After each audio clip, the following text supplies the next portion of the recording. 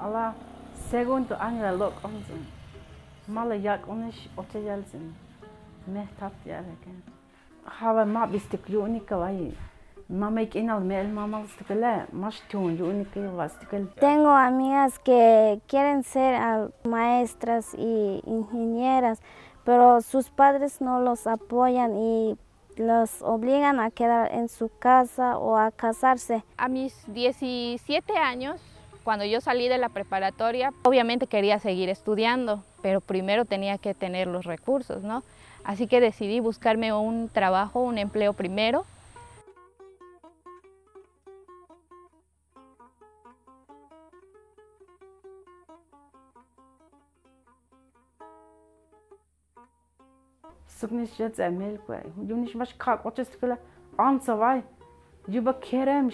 Totik stukal zin. Yun se kerem chicken ba bahtuk.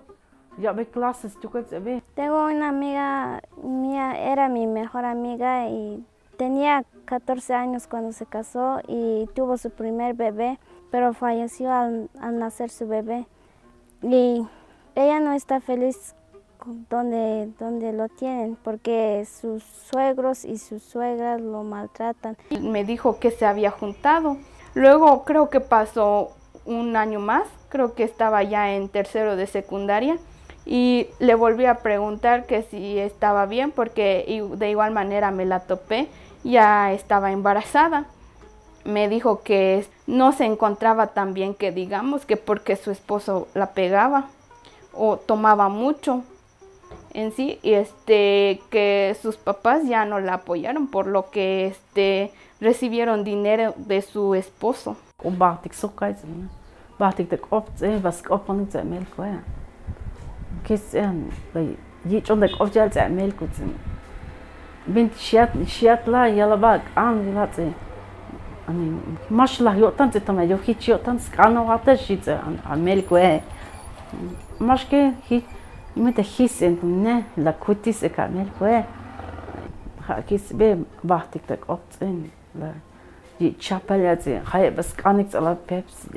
Suk al al tak ne ala ala dos mil van biti kaiz. A mi opinión de casarse a los 15 años, me imagino que es muy difícil. Es mejor que terminar nuestro estudio, no casarnos a, a, los, dos, a los 14 o los 15 años. Porque al tener nuestro primer hijo es muy difícil mantener, mantenerlo.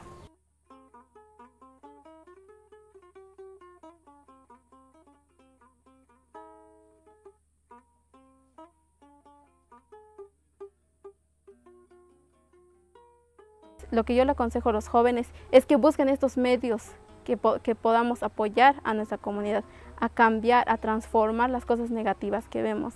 Entonces, es algo muy, muy valioso que podemos hacer nosotros los jóvenes, que tenemos como esta energía, esta chispa de querer hacer estos cambios.